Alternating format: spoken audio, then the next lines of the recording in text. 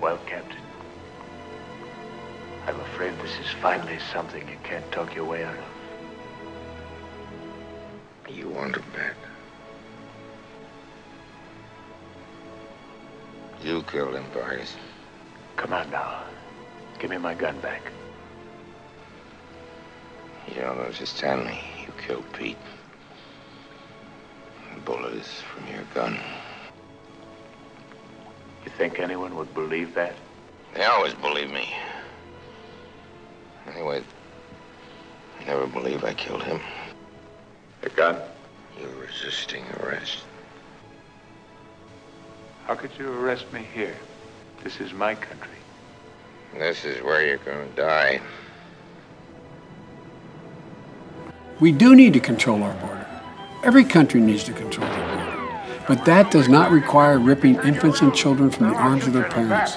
It doesn't fight corruption, go after criminal groups responsible for smuggling drugs and people, and sending greater economic opportunity to all the people in Guatemala, El Salvador, and Honduras, so that people can imagine a better life for themselves in their own countries. This effort, but that tradition is under attack. When immigrants succeed, we all succeed. America succeeds. And we need to protect that promise and preserve that chance. That said, it's no secret that immigration nation because they have courage, determination. They came on their own. For centuries, our immigrants have been the secret ingredient to our economic might and dynamism. From the father of modern day physics, I'm so proud of the American people. And I pray they continue to stand up, show up, and speak out when they see the wrongs occurring at our border.